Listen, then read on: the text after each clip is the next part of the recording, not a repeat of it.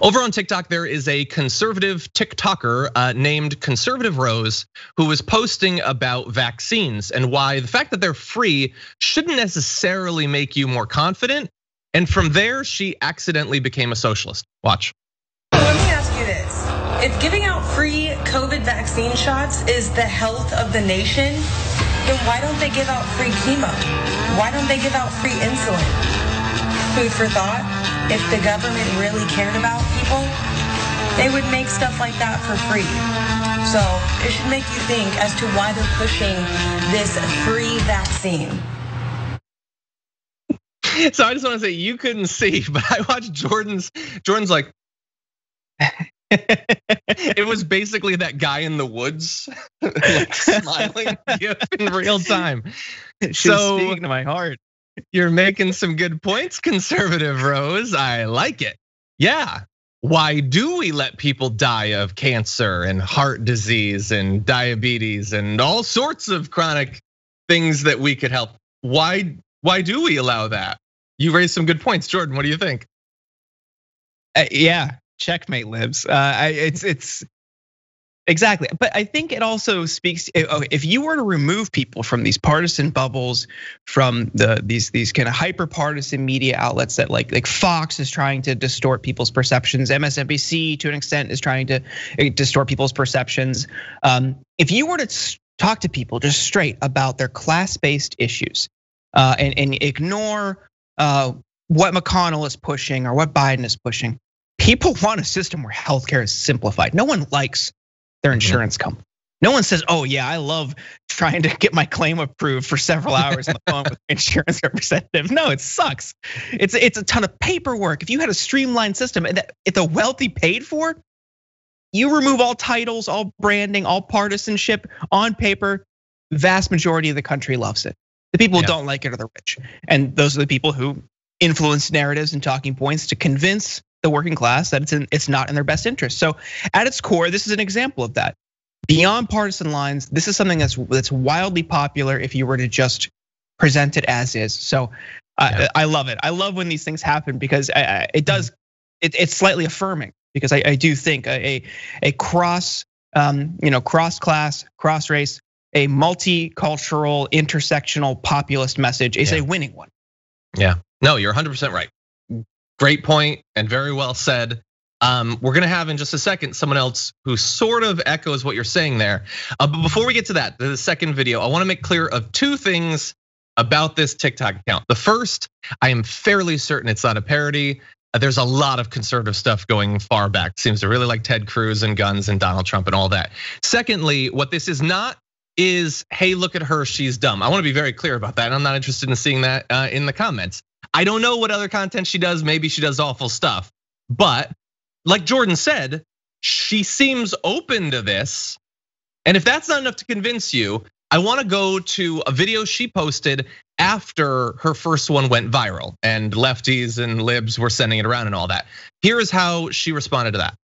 On liberal TikTok. I'm okay with that because it's it showed me that People think that just because we are conservatives that we're not allowed to have or agree with some of the policies that liberals do have. That is not the case. I believe that some of the policies that liberals do, Democrats have, are good policies. They just need to be rewritten, redone, and it could possibly work, but they're just presented wrong. Um, understand some of this logic that just because we're conservative or liberal that we don't believe in some of the same things. So I love that. I mean, I did not expect it. Normally, I would have expected, oh, screw you for mocking me. No, she's she's being fairly reasonable. She's like, no, yeah, no, I didn't, I didn't really accidentally do this. I am actually open to some of this stuff.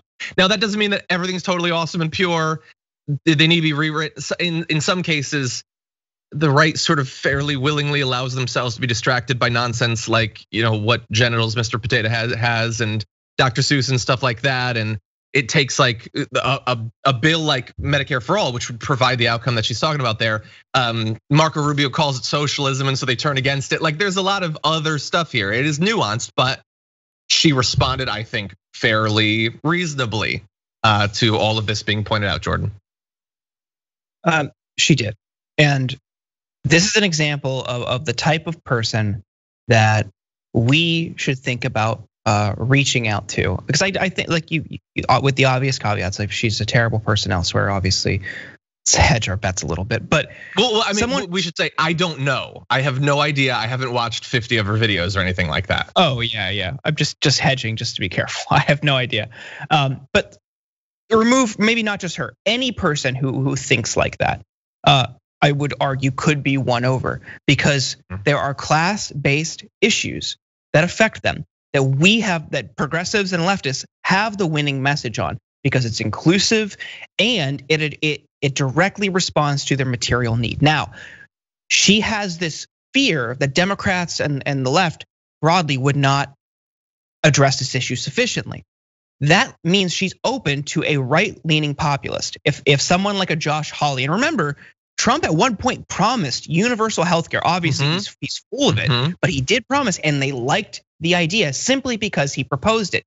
They, it's not that they have this animus toward the idea of Medicare for all. It's that the Democrats are proposing it. So if someone like a Hawley or someone like a um, DeSantis or a right-wing populist or, or a demagogue or a, God forbid a Tucker Carlson introduces this, uh, it's going to be popular on the right. Now, the end result of this being enacted, sure, could be good, but that sets up a right wing populist movement that, as we've seen time and time again throughout history, it ends horribly.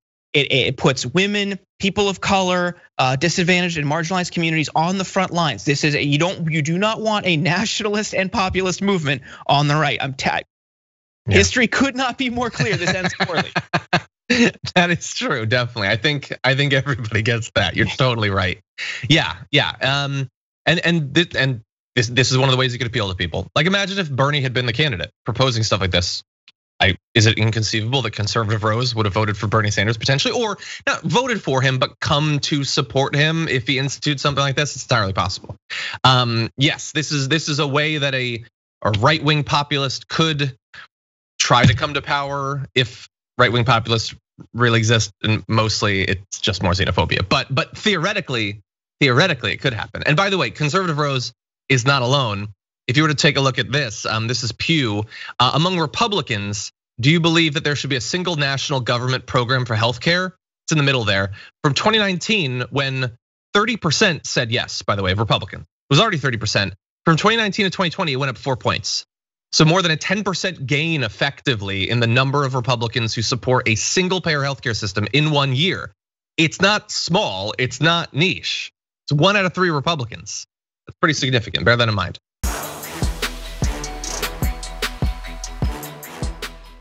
For more political news breakdowns, interviews, stories of activism, and me trying my hardest to care about the occasional big celebrity news story, subscribe to our YouTube channel at youtube.com slash the damage report. And you can ring the bell wherever it is so you don't miss anything.